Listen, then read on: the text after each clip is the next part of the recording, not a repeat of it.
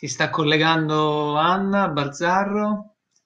Eh, siamo contenti insomma anche della sua presenza perché eh, rappresenta l'IRSIFA, l'Istituto Romano per la Storia d'Italia del Fascismo alla Resistenza e eh, l'IRSIFA tra l'altro è collegato anche in diretta Facebook con eh, questo convegno come molte altre realtà eh, romane e non solo, eh, abbiamo citato prima il Museo di Vetasso, eh, il Circo Gianni Bosio, l'Associazione Altramente, eh, il laboratorio Stalker, Osservatorio Nomade, il servizio comunicazione del CNR, una serie di realtà che stanno seguendo eh, dalle loro pagine questa diretta, il che ci fa ovviamente molto, eh, molto piacere. Iniziamo quindi l'ultima sessione pomeridiana e lascio la parola a Anna Bazzaro. Grazie Anna, ciao. Grazie a voi, io volevo appunto ringraziare tutti gli organizzatori e, e, e i relatori per questa, per questa, iniziativa veramente importante e, e ricca, insomma, che uh, attraversa così tanti anni insomma, della, della storia di Roma. E volevo ricollegarmi un pochino a quello che è stato detto nella sessione precedente, insomma, da Lidia Piccioni, mm, che appunto ci ha fatto vedere come Roma negli anni del fascismo c'era questo, mm, ingrandimento della città mm, che spiccava, eh, ma che non era in contrasto con quello che avveniva eh, in altre città. Lei ha parlato della grande Milano, della grande Genova e così via.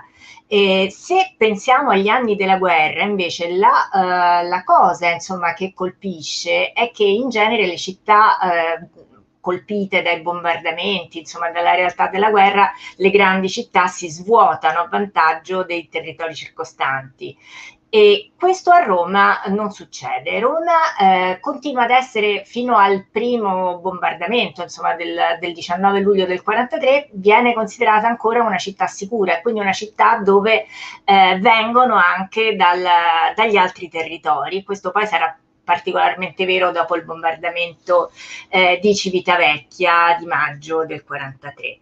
Quindi ehm, questa, diciamo, questa città ehm, è proprio una città di immigrati, come recita il testo, il, il, il titolo insomma, del, dell'intervento di eh, Alessandra Gissi. Alessandra Gissi, che ehm, appunto è la prima relatrice di, questo, di, quest'ultimo, di quest'ultima sessione del pomeriggio e che insegna storia contemporanea presso l'Università Orientale di Napoli e si occupa, si è occupata insomma, particolarmente di storia dei corpi e della riproduzione, tanto è vero, cito il suo volume Le segrete manovre delle donne sulle levatrici e si è occupata anche di migrazioni e eh, la fonte che lei sceglie per parlarci di eh, migrazioni appunto nella, in questa Roma, città di immigrati, è un romanzo, anzi il romanzo secondo me eh, di Roma in guerra, appunto la storia di Elsa Morante.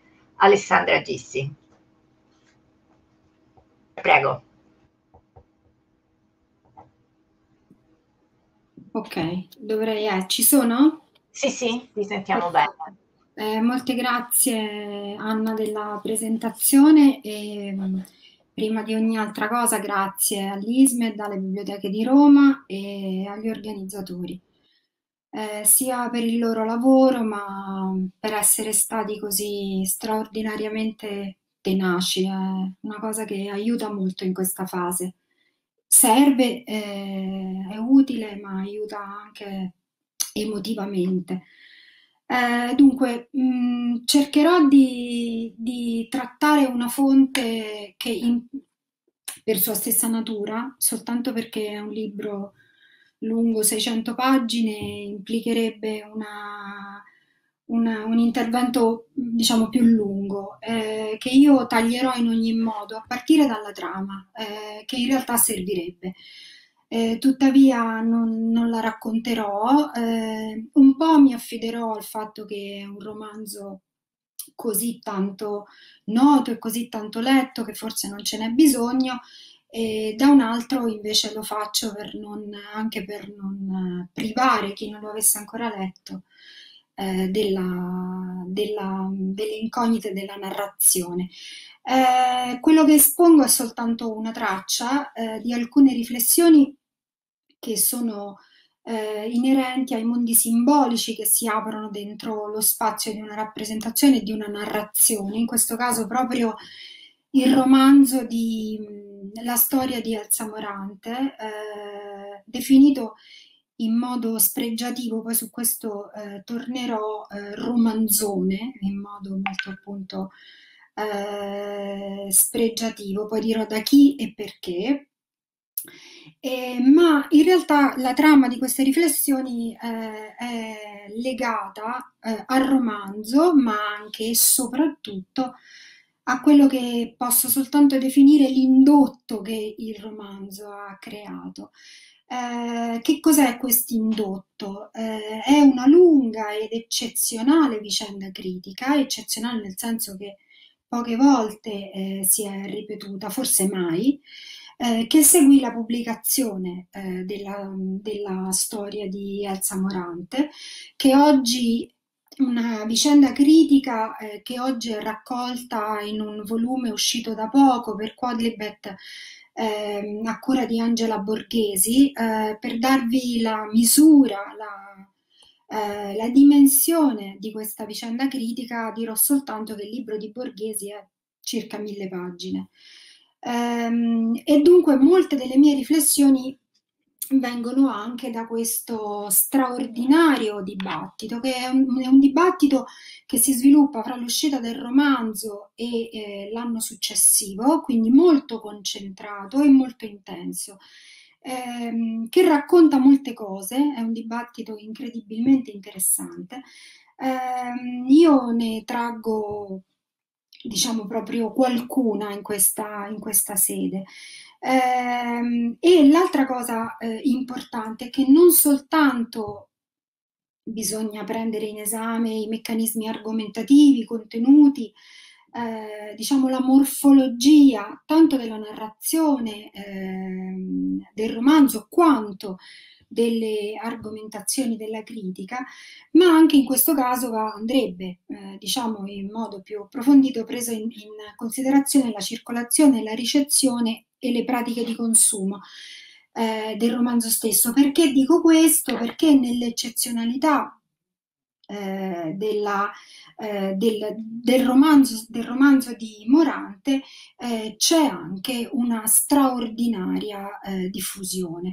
Allora, il romanzo esce nel 74 per volere di Alza Morante dell'autrice direttamente eh, nella mh, collana eh, negli struzzi in versione economica, quindi con un prezzo subito molto ridotto, eh, cioè quello del prezzo di 2.000 lire, ed è appunto una decisione riconducibile alla volontà dell'autrice, eh, perché il libro deve essere nelle intenzioni alla portata di tutti.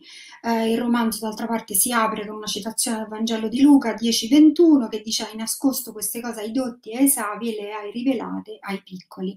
E una frase che dice: All'analfabeta per cui scrivo.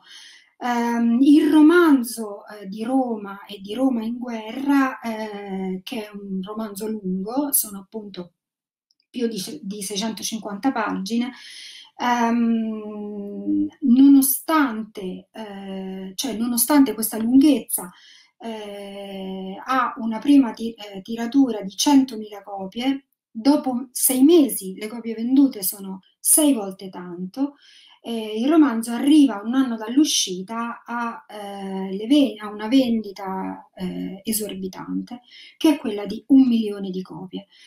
Eh, questo è un aspetto piuttosto importante in tutta, in tutta la vicenda, forse si capirà meglio eh, piano piano mentre vado, mentre vado mh, avanti. Eh, vale forse qui subito eh, la pena eh, nominare, enunciare cosa scri- sulla storia di Alzamorante in questo anno scrivono tutti, tutti quelli che vi possono venire in mente.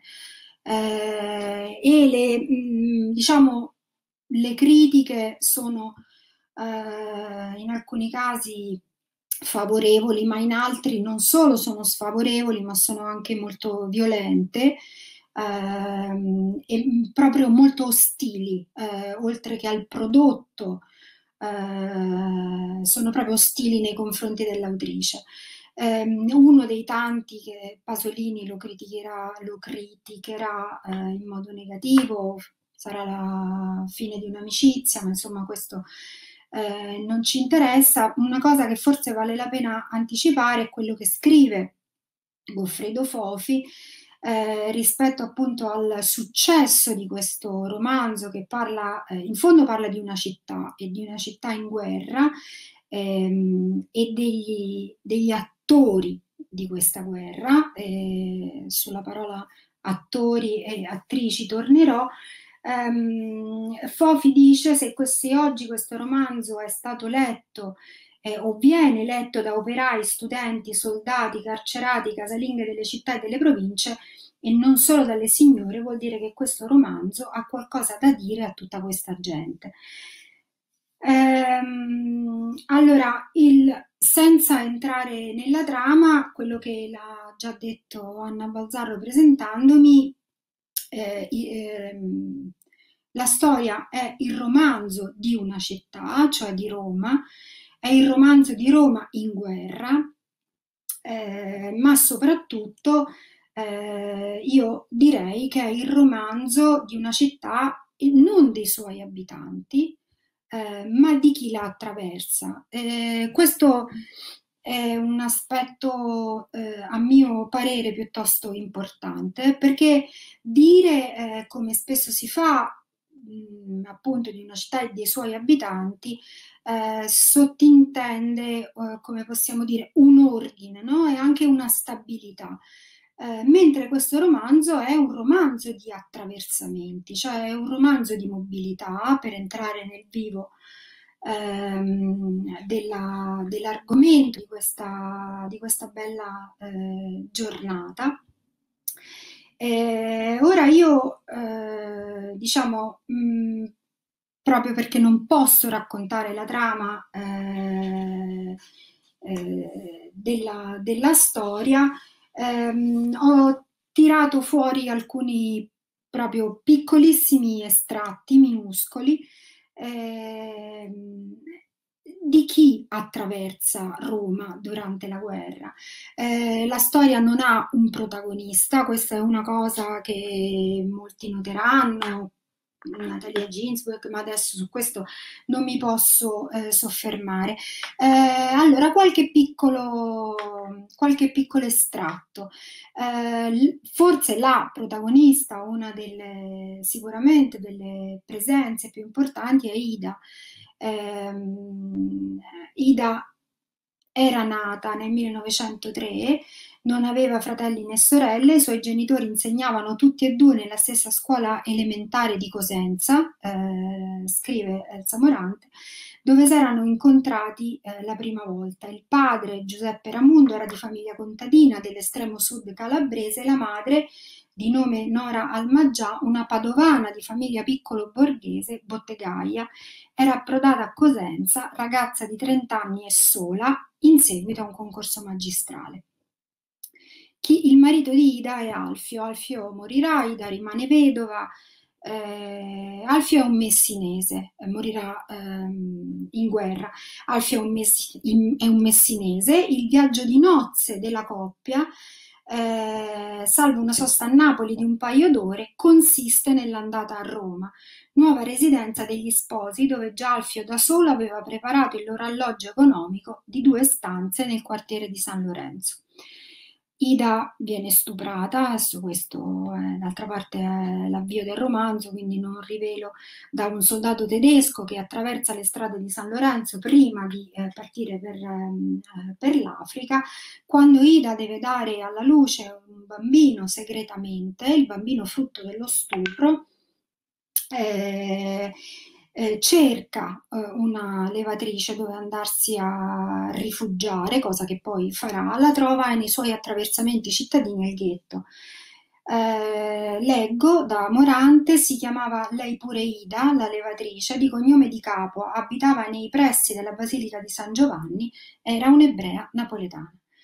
Eh, quando Ida si avvia ehm, dopo il bombardamento eh, verso ehm, Pietralata, eh, perché ha saputo da un cantiniere che c'è un edificio dove, può, dove gli sfollati possono andare a, gli sfollati possono andare a, a ripararsi, eh, conosce, incontra eh, sulla via eh, Cucchiarelli Giuseppe. Cucchiarelli Giuseppe falce e martello, così si presenta. E la prima cosa che Cucchiarelli Giuseppe, che fa, è artigiano del marmo, eh, chiede a Ida è signor siete romana?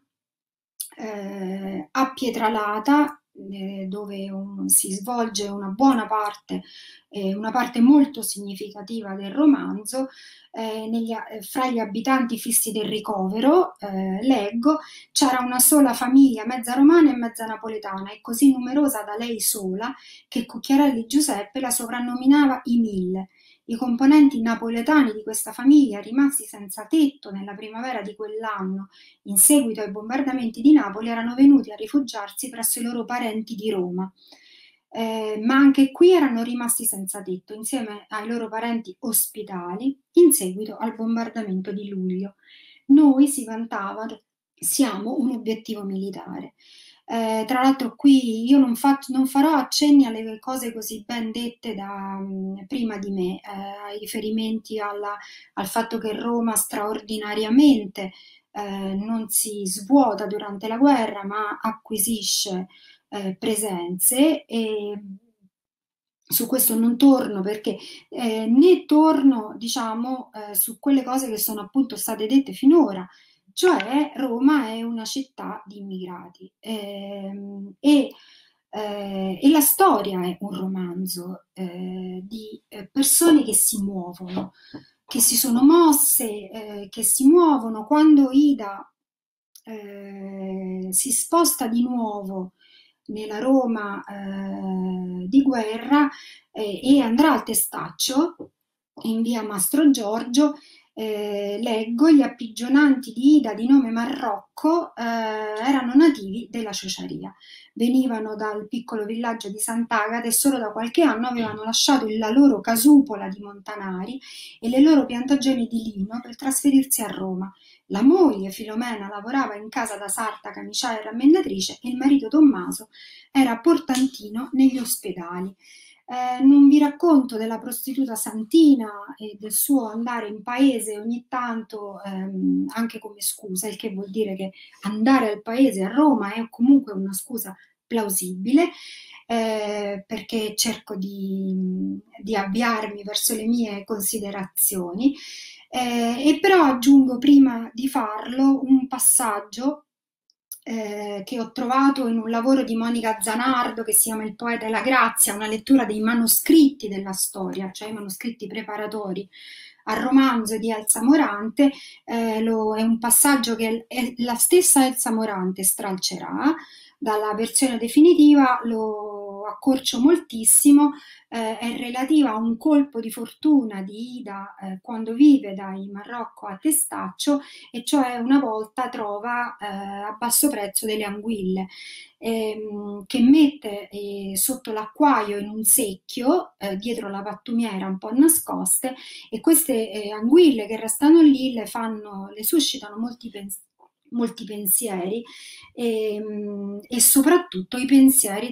loro, delle loro migrazioni. Eh, dal Mar dei Sargassi al ritorno, viaggiando per distanze sterminate, ecco il destino, pensò Ida, dal Mar dei Sargassi sono finite in questa cucina nostra. Allora le venne fatto ripensare alla sua propria vita e casi e migrazioni.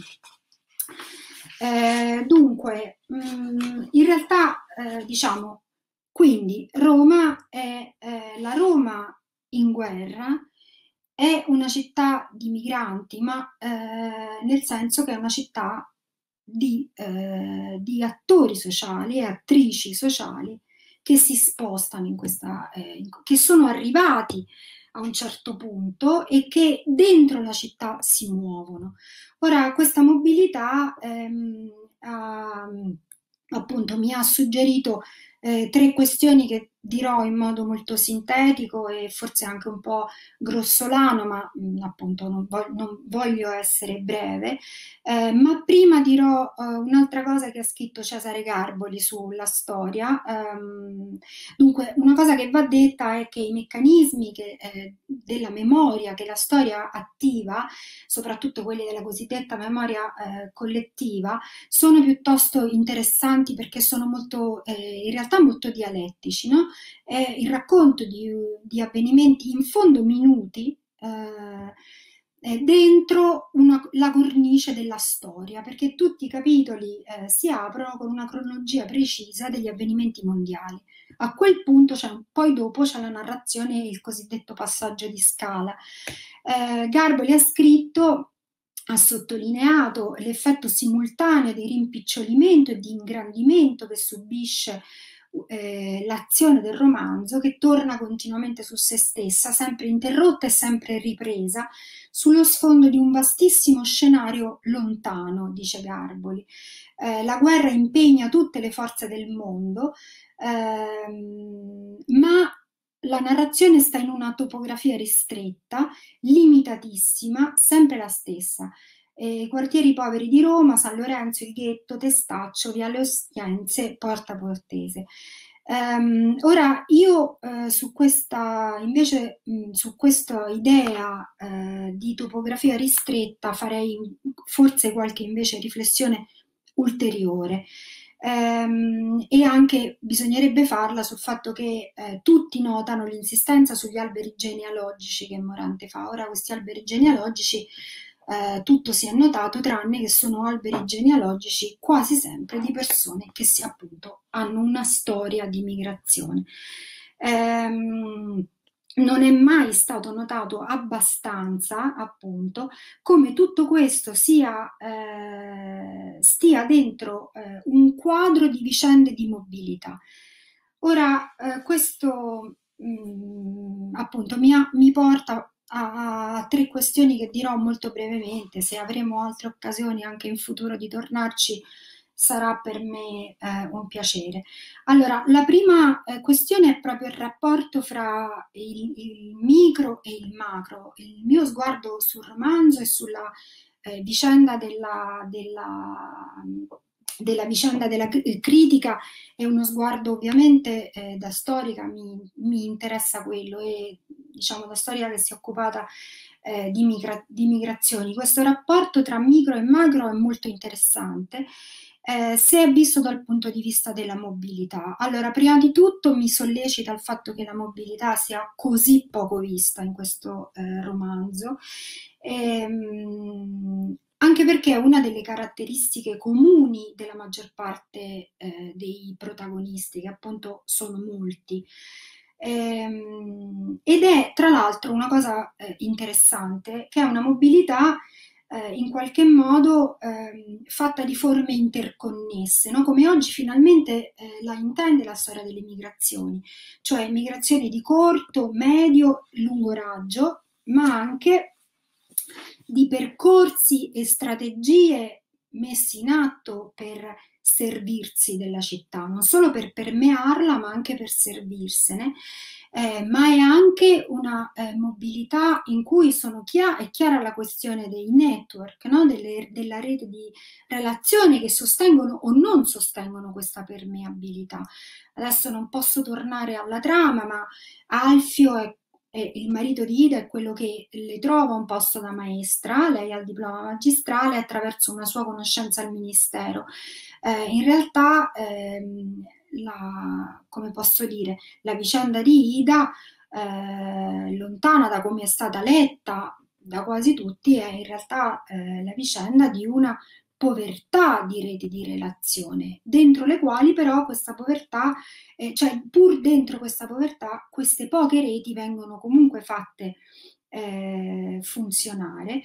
Eh, sì, sì, ho finito.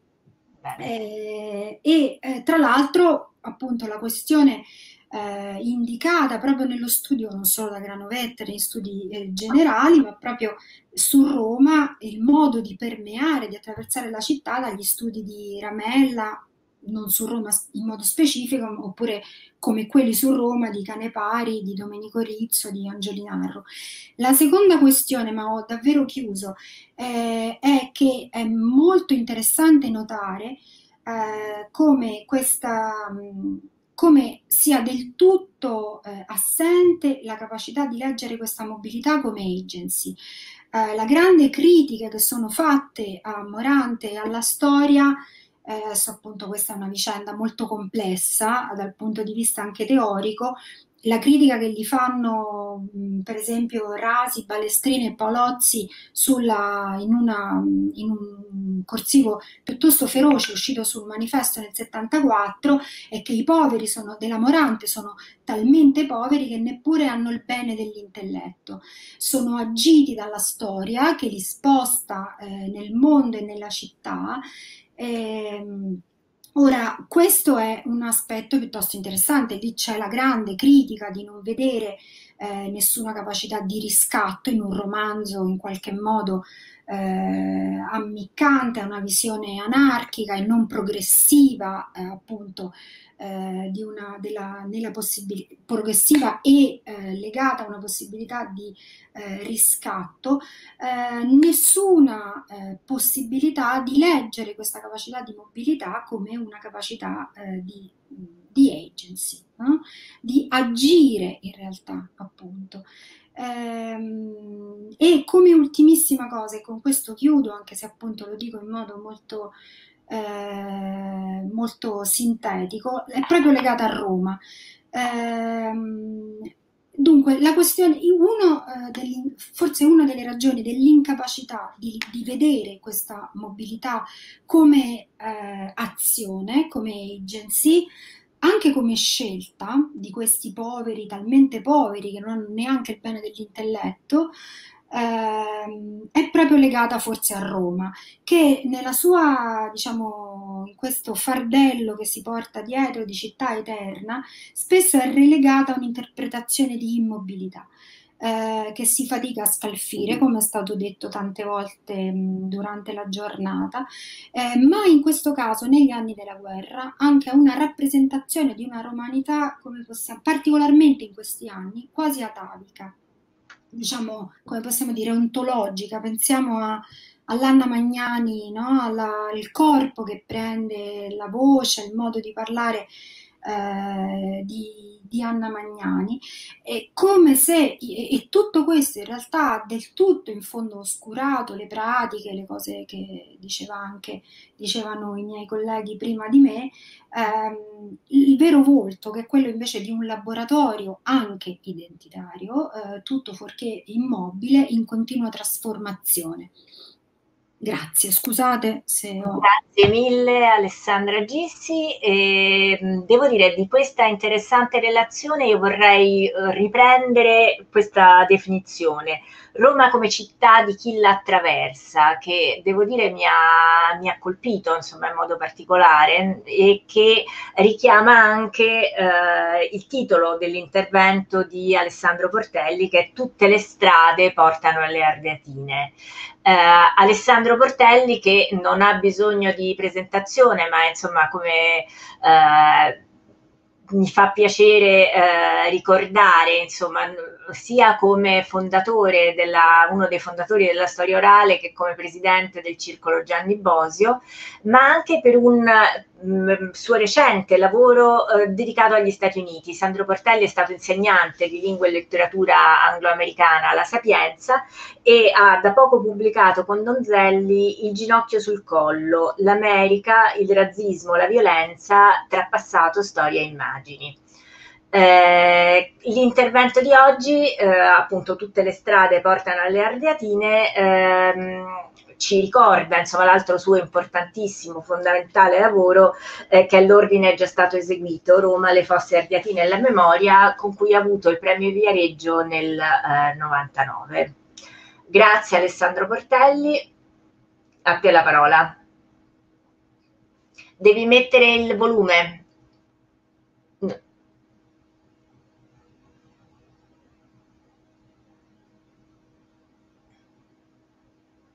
Guarda qui in basso. Eccomi, eccomi. eccomi.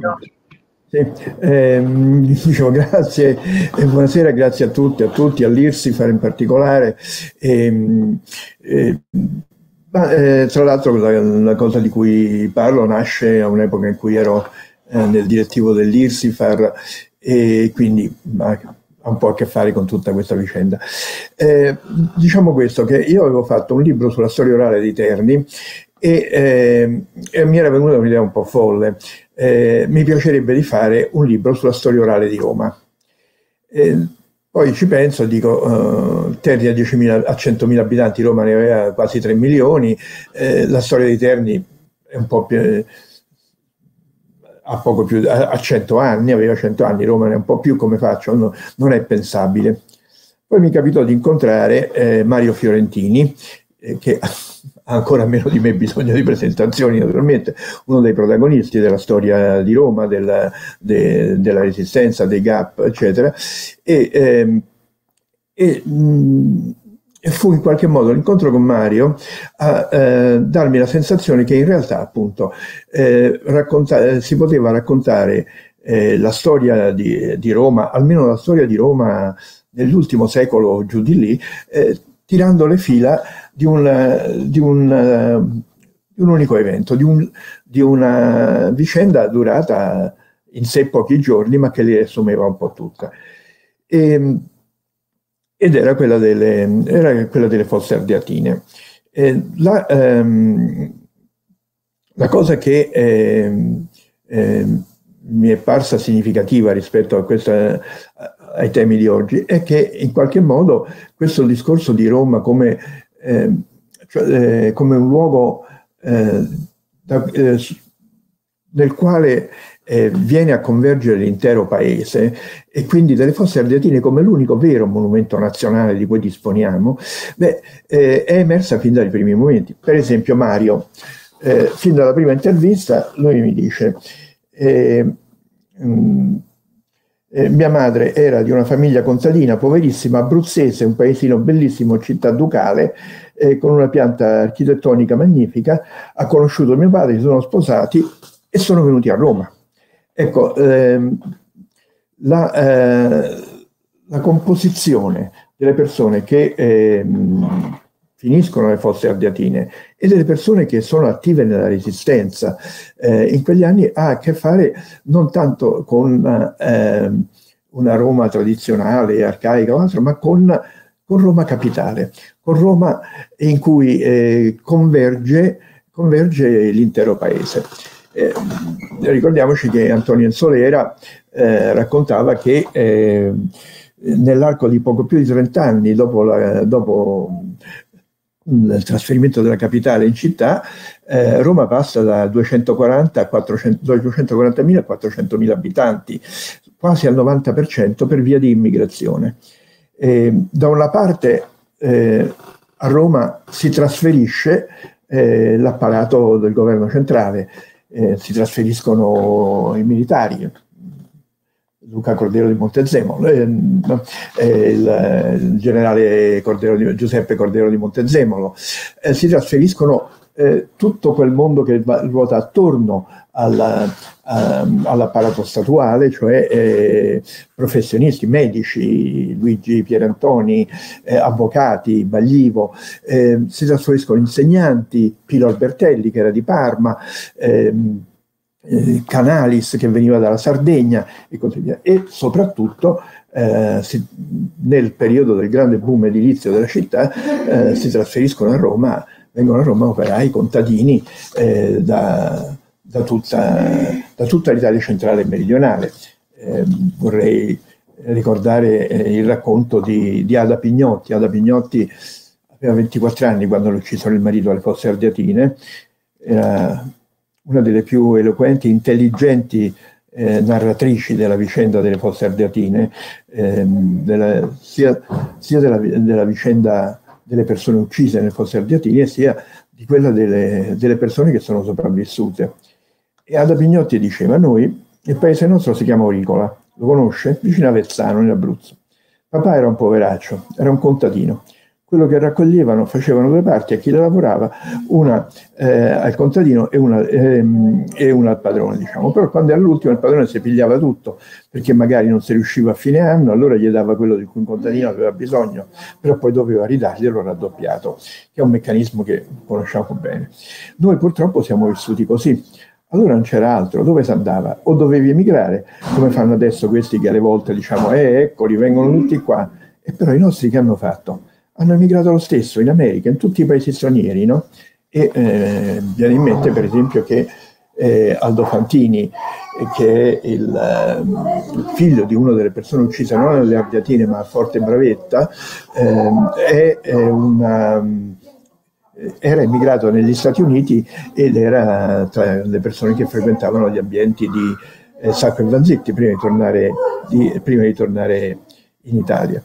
Quindi diciamo eh, c'è questa dimensione come se eh, tutte le strade, eh, tutte le, tutti i, corsi, tutti i percorsi, tutta la storia di vita e tutta la storia della città, tutti i quartieri eh, confluiscono, ehm, confluiscono dentro Roma Io, eh, e dentro le fosse ardiatine. Io di questo mi sono reso conto andando in giro per l'Italia a parlarne e eh, vai a, ad Alessano, al capo di Leuca e appunto ti raccontano di Ugo eh, Baglivo, eh, avvocato locale eh, di laggiù che è ucciso. Poi vai a Trieste, dal capo estremo del paese, e senti parlare di, di Heipel ehm, o di Paolo Petrucci, triestini, uccisi alle Ardiatine. Ehm, Luigi Pierantone, di cui parlavo prima, era di Novara. Eh, ci sono eh, Erminio eh, Lungaro era di Trapani, cioè, l'Italia intera viene, viene, a Roma in, quest, in, questo modo. Ci sono eh, 14 pugliesi, eh, 7 marchigiani, 9 sardi, i eh, campani, gli abruzzesi, inutile starli a contare, e, ehm, e vengono appunto eh, a coprire l'intero arco sociale della città. E, ehm, e mh, mm, i nuovi quartieri che vengono, ehm, nel caso appunto noi contiamo eh, tra le vittime delle Ardeatine eh, molte persone che vengono eh, di, di Torpignattara, di, di, di Certosa, di Centocelle o, o, o di Valmelaina o, e naturalmente Valle Aurelia e altri quartieri operai e proletari della città, quartieri eh, che hanno anche resistito al, al fascismo. Eh, d'altra parte sono eh, connessi anche alla, eh, vicenda, alla vicenda dell'immigrazione eh, il gruppo dei partigiani dei gappisti, dei gappisti che, hanno, che, hanno, agito a Via Rasella.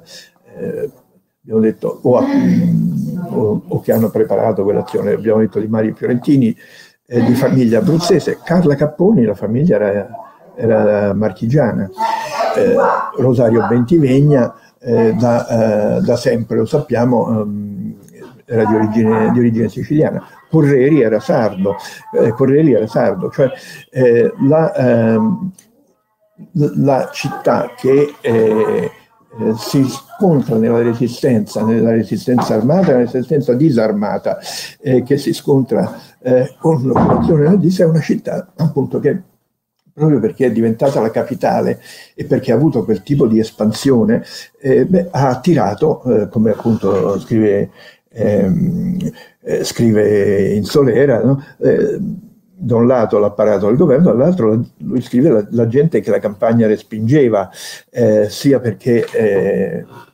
effettivamente Roma chiamava, sia perché, eh, beh, perché c'era la speranza di, eh, di una, di una poss- possibilità di vita migliore emigrando, emigrando in città.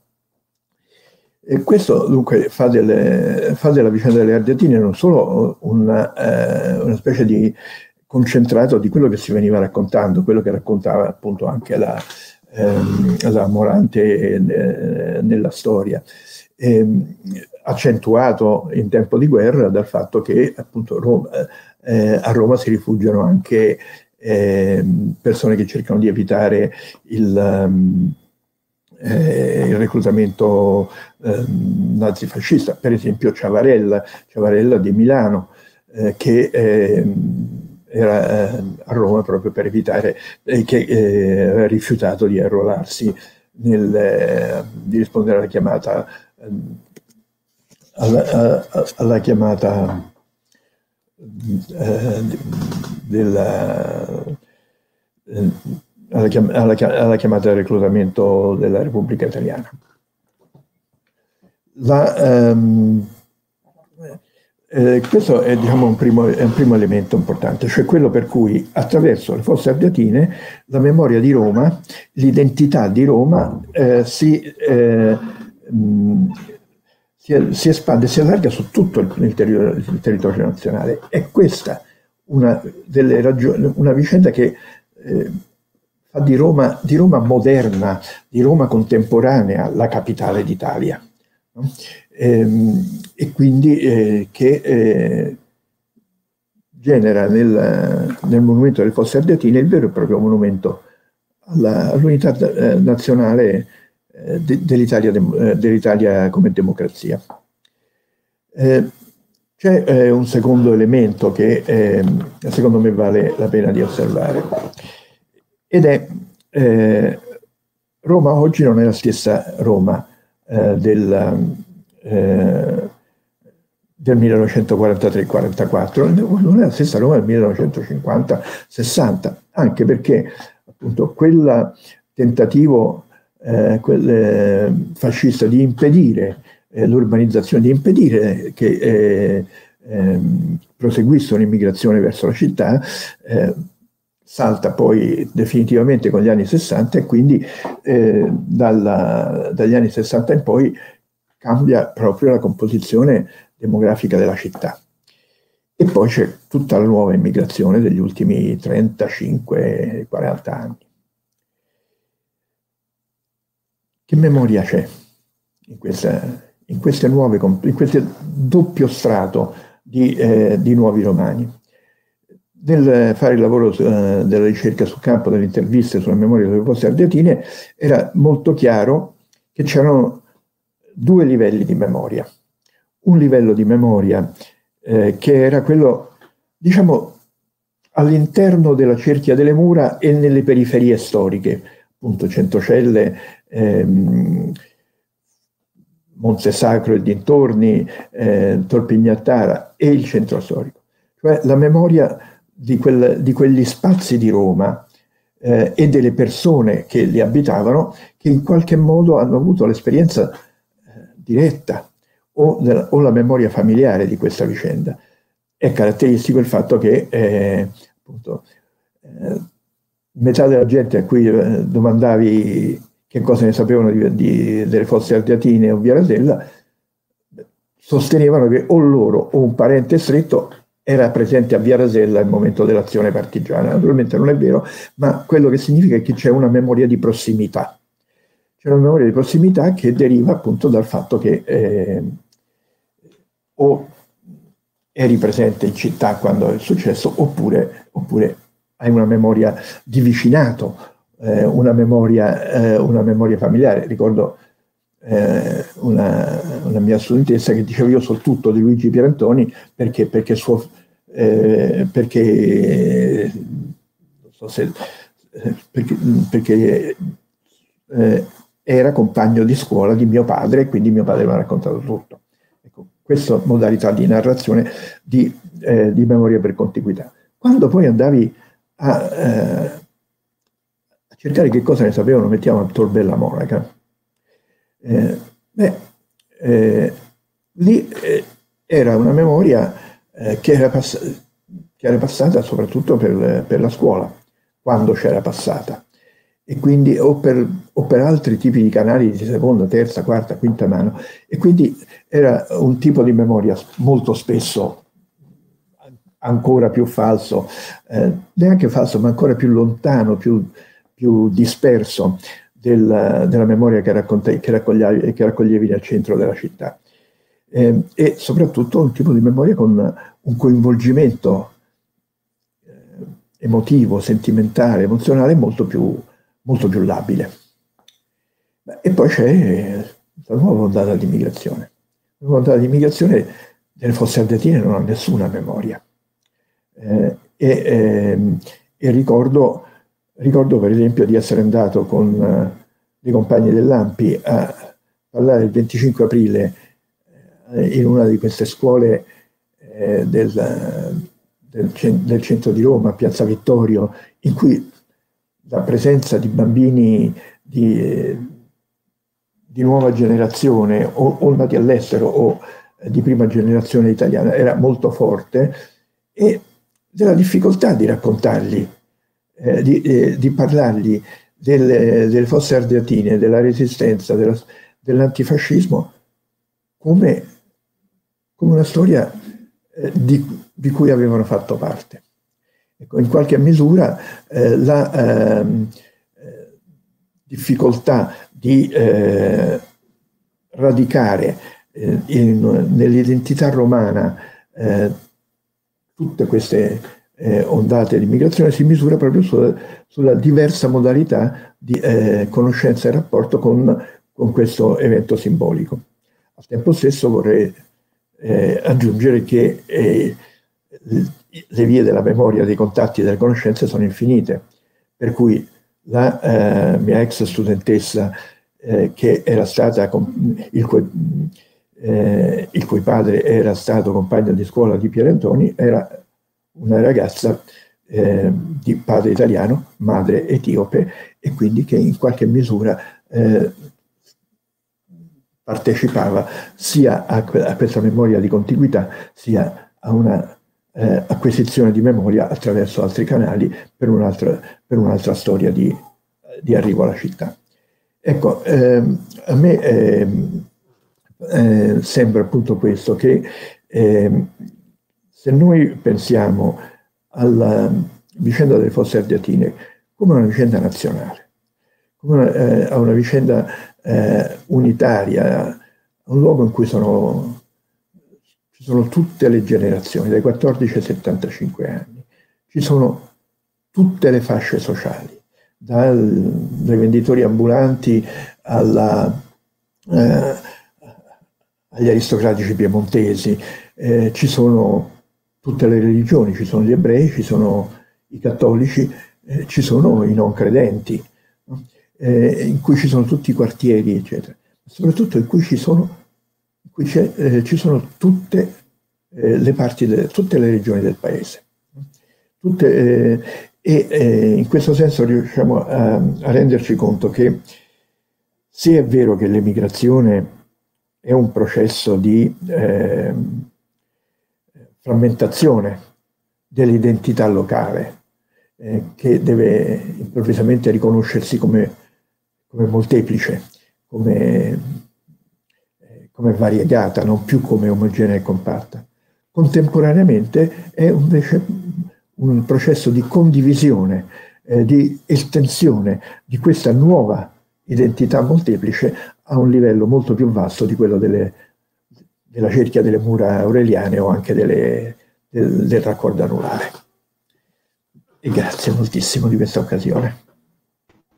Grazie mille Alessandro Portelli veramente per questo intervento e per queste considerazioni che appunto ci hanno fatto vedere da un lato come eh, bisogna ri, rispettare a volte il concetto appunto di locale e di, e di nazionale e, di, e, internazionale, quindi mai come eh, diciamo l'approccio poi che lui ha usato, quindi questo vedere le, le fosse ardeatine può, uh, può poi uh, allargare lo sguardo no? a, alle tre dimensioni, quindi fa, e, e, e, anche l'altra cosa che mi aveva colpito, insomma, una delle ultime che, che hai detto, questo di questa, di questa memoria che, che, bene o male poi viene portata avanti anche dalla ragazza che poi ha la, ha la mamma di un'altra nazionalità e che quindi la, la, memoria di Roma poi di fatto è una memoria molto più larga di quello che noi possiamo immaginare. Non so se dalla chat c'è qualcosa Eccolo. eh, Santina della Furia che dice appunto bravissima Alessandra, la storia è un romanzo gigantesco e doloroso, ne hai dato un'idea forte, ci sono luoghi che dovrebbero essere segnalati nella topografia romana per il loro ruolo del romanzo. Uno è lo scalo di San Lorenzo con gli ebrei già chiusi nei vagoni che sussurrano a Ida i loro messaggi. Ecco, devo dire che mh, mm, insomma sono assolutamente d'accordo con questo intervento e che effettivamente sarebbe interessante vedere i luoghi no? poi di Roma che sono anche dentro, dentro il romanzo, come, come, vengono fuori e come, eh, e come poi la, la, storia proprio della città viene, viene, alla luce e sembra quasi di muovercisi dentro, no? di camminare all'interno con i protagonisti. Non so se c'è altro.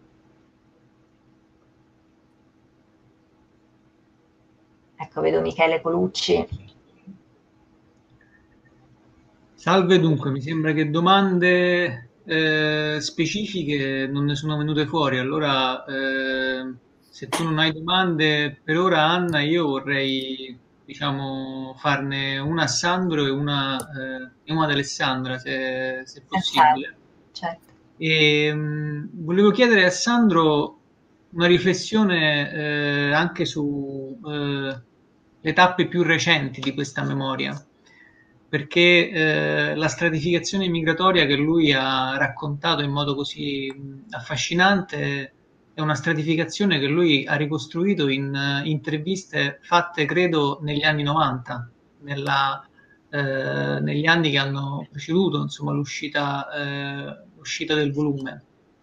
Volevo chiedere a Sandro se ha avuto eh, percezione, se ha avuto testimonianza, se ha avuto modo di eh, invece mh, considerare un cambio anche di, di, prospettiva, di empatia rispetto a ciò che eh, è avvenuto invece negli ultimi, negli ultimi, anni. Ormai da quel periodo sono passati, insomma, è passato tanto tempo, eh, sono passati quasi 25 anni, insomma, dalla, dalla eh, metà degli anni 90. Ecco, anche per capire un po' come secondo lui eh, quest'idea della prossimità, che è una eh, delle parole chiave, diciamo, è uno dei concetti fondamentali su cui si sta muovendo un po' questo nostro eh, progetto di ricerca su Roma, si può poi realmente sostanziare il, il lavoro che abbiamo cercato di fare con questo con questo convegno e che cercheremo di fare anche nelle, eh, nelle prossime tappe di questo percorso è quello di eh, togliere dall'immaginario sulle migrazioni quel eh, sapore di eh, esotismo, di alterità, di diversità estrema che spesso si, eh, si associa alla figura del, eh, del, migrante, della persona che si muove eh, nello spazio, della persona che, eh, che compie anche un'esperienza migratoria, per arrivare invece a una consapevolezza eh, di quanto invece i percorsi migratori sono vicini, vicinissimi a noi, anche quando, quando, quando meno ce lo, possiamo, ce lo possiamo aspettare nelle nostre eh, biografie, nelle nostre esperienze familiari o nelle reti più vicine, insomma, anche alle persone. Ecco, quest'idea su come, eh, su come è cambiato il, eh, il, percorso anche di avvicinamento a questa prossimità nei tempi più, più vicini a noi mh, rispetto anche a quando Sandro ha scritto, eh, ha scritto il libro sulle, sulle fosse ardetine. Ad Alessandra invece volevo chiedere diciamo, una eh, testimonianza rispetto ehm, a ciò che mh, lei pensa eh, rispetto alla narrazione su Roma, su questa Roma così, eh, così frenetica, così in movimento, eh, che, che, racconta nel, eh, nel, romanzo La Morante, che lei ha descritto in maniera così, eh, così puntuale, se le vengono dei riferimenti per quanto riguarda eh, narrazioni anche letterarie in altre città, diciamo per per allargare anche un po' lo sguardo a questa variabile della mobilità anche eh, al di fuori del contesto di Roma, perché un po' mh, l'obiettivo che mi sembra stiamo raggiungendo in questa giornata, da un lato è quello di legare eh, la storia delle migrazioni alla storia di Roma contemporanea, quindi ricomporre questi due orizzonti che sono stati per molto tempo eh, un po' separati, no? un po' rimossi, e dall'altro lato anche quello di inserire la storia di Roma contemporanea eh, nella storia, diciamo, del, dell'Italia contemporanea, quindi magari anche eh, aggiungendo eh, interazioni, legami, eh, rapporti con quello che succede in altre città che magari sono state anche maggiormente già studiate insomma, dal punto di vista delle mobilità e delle migrazioni. Grazie.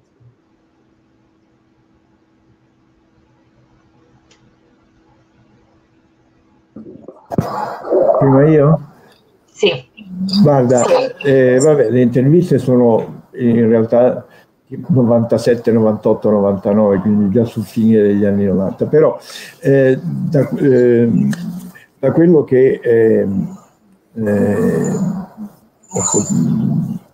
queste sono, sono diciamo più sensazioni che non eh, che non risultati di ricerca approfondita. Eh, a me sembra, la cosa che mi, che mi pare eh, non è tanto che eh, diciamo, la storia di Roma antifascista, della resistenza eh, delle Ardeatine sia diventata storia familiare eh, anche per, per, quelli per i quali non lo era prima. questo non, credo, non, mi sembra che sia accaduto.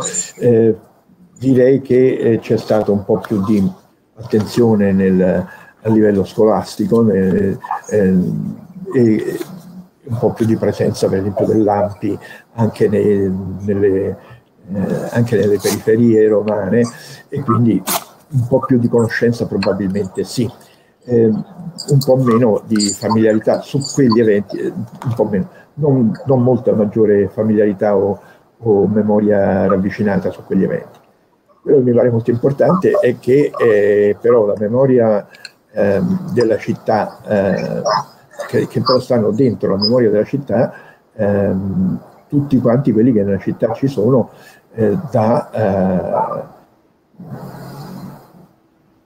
da, un, da, una o due generazioni qua. Cioè, eh, voglio dire, la memoria per dire di Centocelle è per, sacco, eh, per, molte persone la memoria eh, dei, delle occupazioni delle scuole fatte eh, a cavallo degli anni 90 e, e, 2000, fatte da ragazzi che magari sono appunto figli di immigrati, di immigrati da, dall'Italia centrale eh, o altro, o anche no?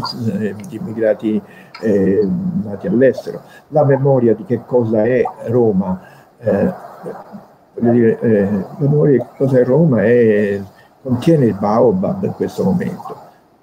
Eh, e quindi eh, più che pensare eh, forse, almeno da quello che colgo io, a una riappropriazione diretta eh, della, della, memo- della, memoria de- dell'epoca della guerra, dell'antifascismo e altro, ehm, direi che c'è una costruzione eh, di memoria in atto a cui partecipano tutti, a cui partecipano eh, appunto i, i, figli le, i, figli e i nipoti degli immigrati abruzzesi che ormai sono da due generazioni che sono romani eh, e a cui partecipano sicuramente eh, i, gli immigrati che vengono da, dalla Romania. Mi viene in mente che una delle più straordinarie voci della canzone romanesca tradizionale è eh, Roxana Ene eh, nata in Romania, arrivata in Italia a nove anni, vive a Caselino eh, eh, ed è più romana di me canta le canzoni di, di, eh, di Romolo Bazzani. Cioè, eh, in qualche modo ehm, c'è una eh, appropriazione dell'identità, dell'identità, romana non tanto attraverso un ritrovarsi testimoni o figli o nipoti di testimoni degli anni 30-40, quanto essere protagonisti della, della memoria e informazione della storia in atto. Alessandra, ma eh, dunque, mh, mm, erano forse due domande. Eh, la prima è, diciamo, Roma così in qualche modo, come dicevi, eh, eh frenetica. Mm, Ecco, io penso che questa questione degli attraversamenti sia molto importante perché eh, proprio in questa ottica di relazione fra diciamo, gli eventi macro no? della storia, quindi i bombardamenti, la guerra, ehm, e poi gli effettivi spostamenti. Eh, secondo me è una dialettica, è una dialettica molto interessante e, e appunto sottolineo dialettica, ecco ehm, perché invece è lì che manca, è mancato lo sguardo, eh, o meglio, c'è stato uno sguardo appunto molto specifico. Eh, ci sono molte co- ci sono cose che non ho detto, tra l'altro una delle cose secondo me interessanti sono gli anni, a proposito di storia d'Italia, diciamo, eh, questo gigantesco dibattito che segue la pubblicazione del romanzo, eh, che avviene fra il 74 e il 75, eh, avviene in pratica in un momento di passaggio enorme. Eh, siamo all'indomani, l'anno successivo all'inversione del, del saldo migratorio, la crisi, eh, la crisi mh, mondiale, il rientro dei molti di molti migranti sparsi per il mondo, espulsi dal mercato, di, dal mercato del lavoro, soprattutto eh, della grande industria in crisi e, e soprattutto eh, quando l'Italia ha passato un ventennio di migrazioni interne molto intense, sulle quali evidentemente fa anche grande fatica a riflettere, cioè la, tutto il dibattito, che è un dibattito eh, molto teorico anche su eh, lotta di classe, eh, assenza della lotta di classe, eh, secondo me è molto interessante se pensiamo che è il 74-75. Eh, in cui la questione delle migrazioni è in realtà molto, eh, molto evidente, molto presente, ehm, per cui in realtà i collegamenti da fare potrebbero essere molti. Altre narrazioni, io non sono una grande esperta, non voglio spacciarmi per esperta di letteratura, eh, soprattutto sugli anni della guerra, cosa che non sono. Ehm, in realtà non credo neanche che ci sia questa produzione sulle città così smisurata, sulle città in guerra, che forse è anche una cosa interessante. Eh, perché il fatto che Roma sia in questo eh, forse un po' in controtendenza può anche venire da quella anomalia non piccola che abbiamo più volte sottolineato, cioè il fatto che sia un arrivo, che sia arrivo e non, e non partenza durante gli anni eh, della guerra, perché di solito più o meno il, insomma, il romanzo in quella fase è un romanzo di montagna quando è sulla resistenza, insomma non so quanto sia effettivamente eh, un romanzo cittadino. Eh, si aprirebbe un discorso su Napoli che è lungo, eh, Napoli milionaria, insomma anche, anche la difficoltà ehm, in parte colmata, anche narrativa, colmata dai libri di Gabriella Gribaudi rispetto a questo. E ehm, forse volevo anche dire un'altra cosa, ma adesso l'ho dimenticata. Oh, non so. Altramente Scuola per tutti, a me piace molto pensare a come costruire la memoria di prossimità, come diceva nella relazione Sandro Portelli ripresa da Michele. È difficile, ma io credo fondamentale. Posso aggiungere una cosa? Certo. Eh, che eh, appunto io ho parlato di come eh, le persone che sono arrivate a Roma hanno o, non hanno o in che misura hanno assimilato la, la memoria della città Secondo me dovremmo fare anche un discorso eh, inverso, cioè in che misura la città assimila la memoria di chi, eh, di que, di chi ci è arrivato eh, in tempi diversi. Eh, voglio dire, eh, nel fare, ehm, nel, fare, interviste a, a Centocelle, beh, eh, io penso per esempio a certi racconti sugli scioperi dei minatori delle Marche, che eh, sono fondamentali per la memoria di gente che abita attorno al teste. E, eh, e, quindi in qualche modo pensare che la memoria delle persone eh, de, ehm, che sono arrivate a Roma più tardi fa oggi parte della memoria della città. Pensiamo a che cosa ha voluto dire, per esempio, per una parte non trascurabile di Roma, eh, la eh, del monumento a Graziani in, eh, ad affile. Beh, non è che eh, ci siamo completamente resi conto che la memoria della guerra d'Etiopia a Roma non era più solo la memoria eh, coloniale, ma è la memoria degli etiopi che fanno parte della, della, de, della, città in questo momento e che sono portatori di un'altra storia in cui siamo coinvolti. Eh, penso a come eh, la comunità del Bangladesh celebra eh, la giornata mondiale delle lingue native. Perché? Perché il Bangladesh nasce sulla questione della lingua e quindi di come immette nella identità nella memoria della città di Roma la questione della lingua, la questione del diritto alla lingua. Ecco, in questo senso credo che eh, se noi ci riuscissimo a pensare che eh, la memoria di Roma oggi è la memoria delle fosse ardeatine, figuriamoci se sono io a sminuirne la centralità, ma è la memoria eh, di eh, è la, memoria che portano con sé eh, bengalesi, senegalesi, eh, rumeni e, eh, che oggi sono cittadini romani. Eh, e in questo senso diventa estremamente più difficile pensare a una memoria, una memoria unificata della città. Eh, bisogna pens- sempre più eh, lavorare su un'idea di, eh, di, memoria, di, memorie della città, di memorie molteplici eh, e essere in grado di, di, farle, di fare in modo che si conoscano fra loro. E che, eh, credo che questo sia uno dei compiti che ci spettano in quanto operatori della, della memoria storica. Beh, qui ne abbiamo una testimonianza con Fiorella Leone che dice vorrei riferire l'esperienza recente di una passeggiata per Monti con il gruppo Guide Invisibili, ragazzi e ragazze meravigliosi che ci hanno fatto vedere Roma con i loro occhi. Bel raccordo, secondo me, tra la nostra e la loro memoria, quindi insomma ci arriva un po' di speranza.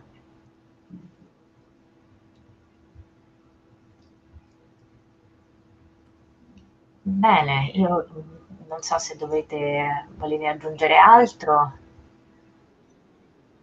Mi sembra che possiamo andare verso la conclusione. Non so se Alessandra sì. si è ricordata sì, il pezzo mancante. Sì, ah, mi sono vai. ricordata, però eh, forse era stata una buona idea dimenticarsene perché apre un discorso enorme.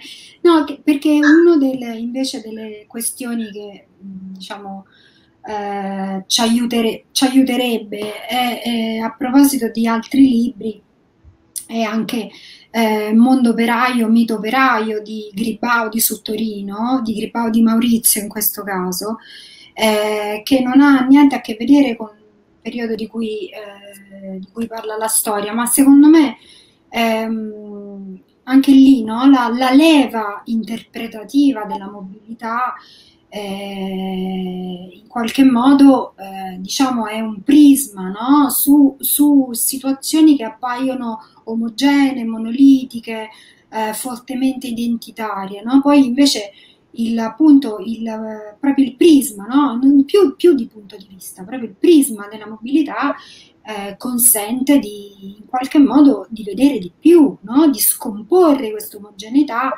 eh, ecco, io eh, se proprio dovessi dire un'ultima cosa, mi sembra che se c'è eh, un grandissimo merito a tutto questo è che per fortuna è una boccata d'aria mh, mm, rispetto a un'estrema semplificazione eh, della, eh, delle, delle, questioni, dei, eh, dei, come possiamo dire, di quello che vediamo, eh, sempre tutto molto tagliato per, per, per, grandi, per grandi linee, mentre invece eh, la scomposizione, un'analisi accorta, quella proprio è una cosa che penso dobbiamo davvero mai, mai smettere, eh, nonostante siamo chiusi in casa.